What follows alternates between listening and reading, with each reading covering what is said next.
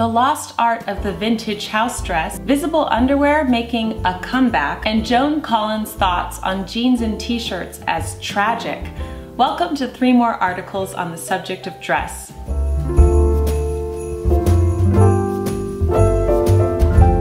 Welcome back to the Daily Connoisseur. My name is Jennifer and I believe that what we wear matters. So in this series, three articles on the subject of dress, I take current event articles that are relevant to today's culture and we discuss them. and I have three good ones for you in today's video. We're gonna talk about vintage house dresses. We're gonna talk about a disturbing fashion trend that's making a comeback and the older generation's thoughts on jeans and t-shirts culture.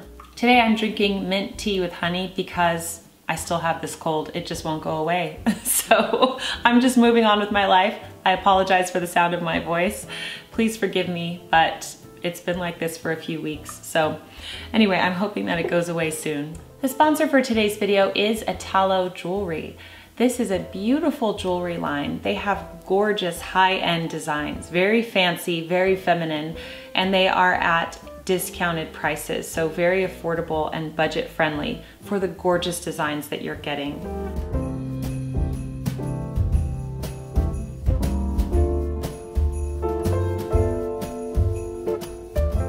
They offer affordable, good quality, beautiful jewelry, and they offer a 30 day return policy and a one year warranty. I will leave their links down below. So the earrings I'm wearing today are these beautiful created white sapphire rose earrings and they have this gorgeous swirl design, so artistic and beautiful. I simply love them. Also, this delicate pearl bracelet is an example of one of their beautiful pieces. It is official sterling silver. They have these gorgeous uh, pearls and this beautiful blue stone. Just beautiful, traditional, fancy, feminine, gorgeous jewelry. I love them. So thank you so much to Italo Jewelry for sponsoring today's video.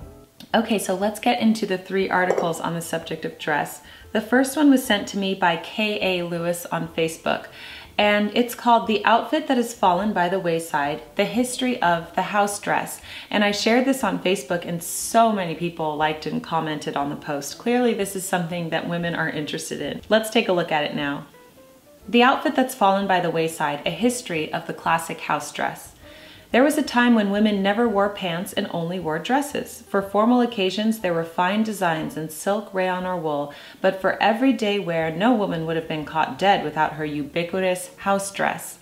Today, women can wear anything they want, but back then, pants and shorts were only for beach vacations at best have a look at the evolution of the humble house dress below. So you're gonna see images of uh, the house dress from real pictures in history. As highly functional garments, house dresses had to fulfill a variety of qualifications. They were usually lightweight in cotton, though later designs saw polyester and rayon in the mix. They often had pockets, and if it didn't then, a woman's apron certainly did. They were easy to launder and often had a print, something which made hiding stains and repairs a cinch. That is one of my secrets, is to wear a pattern so that if you stain it, you don't notice it. In later years, house dresses had a zipper for ease of use. Some iconic designs came out of the tradition of house dresses, like the popular swirl dress, which had originally been marked as a wrap apron. These and other wrap dresses of the 1940s onward were often copied at home since they were so easy to sew up and looked great with a frilly apron over top. Many of the old-time house dresses featured a loose waistline, something which gained widespread popularity following World War I. Once the corset had fallen out of fashion in the 1920s, the Great Depression sealed the deal on these looser and less structured dresses. They had the added benefit of being usable throughout a pregnancy, provided they were cut generously to start. Staying at home to do the cooking, cleaning, and child rearing was the life for most women, so it makes sense that maternity wear was sort of built into the features of this style of dress. Many women from the 1930s onward chose to wear their house dresses to do their daily errands, often with gloves and a hat, but for formal or special occasions, if she had other more expensive dresses, she would have worn those instead. The house dress came from the modest yet liberating Mother Hubbard dress, as first envisioned after the artist Kate Greenaway illustrated her nursery rhyme books showing women and girls in smock dresses in the 1880s. These dresses let women be fully covered yet had no structure and did not require a corset. Bustle, or complicated underskirts like the other fashions of the 19th century. It was the Victorian fight between fashion and purpose embodied in garment form. The style didn't fully catch on for women's clothing, but was the predecessor of the house dresses, which would become a must have for any housewife in the interwar period. The Mother Hubbard dress was not considered fit to wear in public during the 19th century. Isn't that funny? when I think about what's fit to wear in public today, right? Later generations of women in their house dresses enjoyed a modest amount of fashion thanks to machine printing of fabrics and the advance of the sewing machine. However, the conflict between clothing, which was useful, and those which were fashionable still plagued the housewife well into the atomic era. It was only with the complete change in fashion and job status of women in the 1970s and 80s that the house dress became outmoded in favor of jeans or knits. However, we remember these bastions of home life as something every woman would have owned once upon a time. I find the history of dress fascinating. I love those channels that show, um, you know, an Edwardian lady getting dressed or a woman in the 1930s. So interesting to see how women dressed in history. So when I shared this on Facebook, I couldn't believe the response that I got. That house dresses are really interesting to people. Now, people always say to me, Jennifer, do you clean in your everyday clothes, in your 10 item wardrobe? And my answer to that is yes, I do. So, you know, the dress that I'm wearing today, I would totally clean in this. I'd put on an apron, some gloves, and get going, right? But I actually like the idea of having a dress specifically for cleaning because even that is more presentable than just wearing, you know, sweatpants that you feel that you can get dirty in. Now, I actually find dresses more comfortable to wear than something like a yoga pant or a legging or sweatpants because I feel presentable in them. And when I feel presentable, I feel comfortable. When I don't feel presentable, I don't feel comfortable. I don't even want my kids to see me like that. And that's just how I am. Um, and I know a lot of you are like that too. So I think I might explore the idea of the house dress, maybe in a future video. But I would love to know your thoughts down below. And do you have any um, memories of women in your family wearing house dresses? Let us know in the comments down below. Okay, I'm going to need a sip of tea before this next article.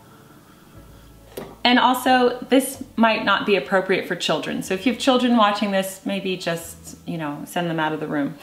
Can you believe that? All right, here we go. This article was also sent to me from a reader and it says, the visible G-string is officially making its comeback. Here's what it means. Yes, you heard that correctly. All right, let's just read the article here. When I met Rowan Blanchard during New York Fashion Week, she's wearing a sequin top and leather pants with a G-string underneath. For those of you who don't know, that's a form of underwear, okay? That was pulled up to her hips. She seems to exude confidence, and though she admits she's navigated some personal challenges this year, fashion has become a way for her to express herself. Regarding the night's unexpected choice in underwear, Rowan tells me, my stylist added the G-string. I'm really into it. I tell her I think G-strings are making a comeback, and without hesitation she replies, I don't know if they ever went away. Okay, Th this is the type of article that I read where I'm like, I must be in La La Land. What? I feel like these people are in, you know, like a really cosmopolitan city where they just have no idea that the rest of the world would never do something like this, okay? Ever since that convo, I haven't stopped thinking about the complexities of the G-string, what function they serve, and what they say about the people who wear them, how they've come in and out of fashion, and to some extent I agree with Rowan. They never really did go out of style, though recently it seems that people have been wearing them more proudly again you know, outside of their pants, rather than hiding them behind the fabric covering their bottoms. It's a style more commonly synonymous with the naughties. After all, the 2000s saw everyone from Britney Spears to Christina Aguilera and Christina Milian and Halle Berry donning the look. Now, this article has accompanying pictures, but I'm not going to show them on here because I feel like they're uh, not, you know, family friendly, not G-rated and I don't want them on my channel. So anyway, but the, the picture accompanies all of these examples of how the underwear is now um, fashionable to show outside of your pants, okay? Since the underwear items past prime, culture has shifted in some major ways, some not so much. Still, the G-string has retained its function. Who doesn't love a no panty lines look and some of its meaning? And in the last year, more celebrities have been ushering the look back into style. Okay, sorry, I keep interrupting. if you watch my Trashy to Classy series, uh, one of my pieces of advice is to not look to celebrities as your role models. And this is why, because I feel like celebrities uh, latch on to these outrageous trends just to remain relevant and to shock people, truly to shock people. And that's why they do it in order to remain in the headlines. Oh, look, so and so is showing her underwear outside of her clothing. And then all of the, you know, people are featuring that person and they get a lot of free press. And that's why they do a lot of what they do. That, that's what motivates it. So that's why it's dangerous to have celebrities as your role models. Um, it goes on. I'm not going to read this whole article. But why am I bringing this up? Because it needs to be talked about. Okay, so a lot of times people say, Jennifer, why do you even talk about these things? It's not classy, it's not. Uh, and I think because I have this unique channel where I do highlight certain disturbing trends in society because I think it is important to talk about them. And I think that if uh, young people, for example, are watching this and they hear me maybe give my opinion on it, gives an opinion that they might not have heard of before, it might cause them to question and to think, you know, just because this is showing up on the fashion runways, is this a good thing? So you have all sorts of pictures and examples here, basically of women's underwear showing above the pants on purpose. So the pants are low rise, the underwear is up. So I like to also give my opinion and I think that this is what I would call a trashy look. People do not like that adjective trashy. Again, I'm not calling the person trashy, I'm calling the behavior trashy. But I don't think anyone should be showing their underwear on purpose. So yes, you might show bra straps on accident, you might bend over and accidentally show, but when you're blatantly doing it on purpose, I believe that that is tacky. I just don't think that it's a good look. I don't care what they're doing on the runways or what celebrity or pop star is doing on their Instagram posts. It's just a blatant um, shock factor because underwear is something that, I mean, it's in the name, underwear. You are supposed to wear this under your garments. This is not outerwear. So a G-string or underwear on a man or a woman should be underneath the clothing. So a lot of people don't like it as well when men will sag their trousers and show their underwear on purpose. This is something that schools have to deal with a lot, right? And there's a reason because it is called underwear and it should be under the clothing. And just because a lot of famous people, I'm looking at some of these pictures and I can't even, they're just, it's bad, are showing this and trying to normalize that and make that cool does not mean that it is. That is my strong opinion. I'm sure I'm going to get people uh, in the comments who disagree with me. That's absolutely fine. Let us know why you think that this is a good trend, if you, if you think it is. But I like to highlight this because it's important to show people how far and how the boundaries are really being pushed in our society. And they're easily pushed because no one questions them. Okay, and the last article was sent to me by Ashley. And this is about Joan Collins, the famous actress. Joan Collins says wearing jeans and t-shirts is tragic. So here we go. Joan Collins has been spotted in sequins, feathers, and at one time an excessive amount of shoulder pads, but you will likely never see the Dynasty star in one of your closet's most frequented staples again. Collins, the face of Valentino's Christmas campaign, which was released on Tuesday, had a lot to say about the current fashion trends in an interview with Vogue. Despite thriving in a time that is becoming more welcoming to 80s style ensembles for special events, the 86 year old actress is less than impressed with casual wear that is so often seen in day to day modern life. I really hope that people will spend more money on clothes because nobody dresses up anymore, Collins told Vogue. If you do, then people stare at you or make cutting remarks well, maybe not cutting, but they'll say something like, oh, look at you, you're all dressed up. I did a whole video on that, by the way. I find that very sad because it will be the end of women buying elegant clothes in stores. Everybody's going to end up in jeans and t-shirts, which I think is tragic. The actress doubled down on her hatred of jeans in the interview, despite launching her own Joan Collins jeans line in 1981. I hate jeans. I hate them. They're so unflattering. And I hate jeans with the holes in the knees or holes anywhere, Collins said. I like people who are outspoken like this and aren't afraid of uh, offending. Of course, the soap opera star has never been shy about her opinions on denim in the past either. In 2010, Collins took a stand against jeans when speaking to the Daily Mail after learning that the Ritz Hotel would allow people in for breakfast while wearing the wardrobe staple. I haven't liked jeans for years, probably because their ubiquity has become terribly boring, Collins said. Do people really want to conform to looking just like everyone else? She added, jeans have never been sophisticated. I find this very interesting. I think women of her generation really don't like jeans. And the other day um, for Thanksgiving, my whole family was here and we were looking at a picture of ourselves from the 90s. It was the late 90s. And we were on my grandmother's porch and we were all wearing jeans and my grandmother was wearing black slacks and one of my daughters pointed it out. She said, why isn't she wearing jeans? And my cousin Rich said, she wouldn't be caught dead in jeans.